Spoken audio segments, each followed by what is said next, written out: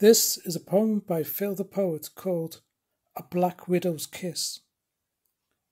Her lips tasted like a well preserved wine, a bitter taste with a hint of sweetness, helpless as I lie in her dark, damp lair, powerless to her seductive tones. Then I started to get numb, not even feeling her tongue in my eyes Whatever she has done has left me paralyzed to my core. Vision starts to blur.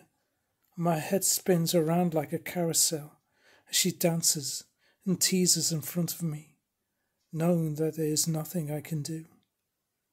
The effects of her venom starts to plague my body as it shoots through my veins. The pain excruciating. My muscles hurt as I'm drained of all but life. She looks into my eyes and sees death looking back. Smiling, she pulls my head back and whispers, A little goodbye kiss to remember me by. As she kills another lover. End poem.